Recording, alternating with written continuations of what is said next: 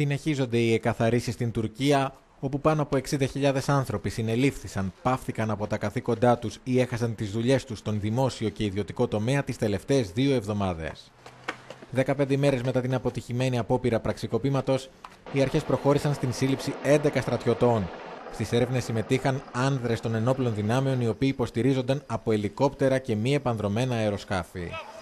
Η επιχείρησή τους πραγματοποιήθηκε μπροστά στις κάμερες στην πόλη Ούλα της επαρχίας Μούγλα, όπου είχαν βρει καταφύγιο οι 11 συλληφθέντες, οι οποίοι μετήχαν στην επίλεκτη ομάδα που προσπάθησε να εξοντώσει τον πρόεδρο της χώρας, Ρετζέπ Ταγί Περντογάν. Ο ίδιος ο Ερντογάν ανακοίνωσε σχέδιο ανασύστασης του στρατού. Οι ενοπλές δυνάμεις μας θα είναι πολύ ισχυρότερε με το τελευταίο σχέδιο που ετοιμάζουμε. Οι διοικητές των σωμάτων θα αναφέρονται στον Υπουργό Άμυνας. Θα τεθούν υπό τον έλεγχο του Υπουργού, όχι γενικά και αόριστα του Υπουργείου. Ο Τούρκος Υπουργός Εξωτερικών Μελβούτ Τσαβούσογλου έκανε λόγο για πρόθεση της χώρας του να υποχωρήσει από την συμφωνία με την Ευρωπαϊκή Ένωση για τον περιορισμό των μεταναστευτικών ροών σε περίπτωση που δεν καταργηθεί η βίζα για τους Τούρκους πολίτες. Είχε προηγηθεί η εκτίμηση του Ευρωπαίου Επιτρόπου Γκίτερ Έτιγκερ ότι δεν πρόκειται να συμβεί κάτι τέτοιο φέτος.